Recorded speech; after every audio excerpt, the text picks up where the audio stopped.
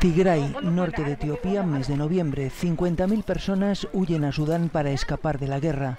El primer ministro etíope, premio Nobel de la Paz, ha sido incompasivo con los Tigray que se rebelaron cuando él decidió aplazar las elecciones. Si hablamos de conflictos, una de las tendencias más preocupantes es la de los conflictos congelados que empiezan a dejar de estarlo. En 2020 nos hemos fijado en el Sáhara, en el Cáucaso, en el Cuerno de África. De Yemen llega poca información a Occidente. Tras cinco años de guerra se ha convertido en la peor crisis humanitaria del mundo según la ONU. Hay 110.000 muertos y 3 millones y medio de desplazados. El 80% de los 24 millones de yemeníes precisan asistencia humanitaria.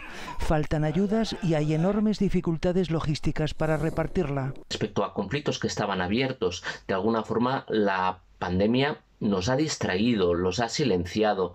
Es el caso del drama de Siria. Otro conflicto olvidado es el que sufre el norte de Mozambique. La provincia de Cabo Delgado lleva tres años siendo escenario de ataques yihadistas cada vez más salvajes. Son grupos relacionados con el Estado Islámico que van ocupando territorio y la población extremadamente pobre huye. Según UNICEF, la desnutrición y las enfermedades amenazan aquí a 250.000 niños desplazados cuando empieza la temporada temporada de lluvias.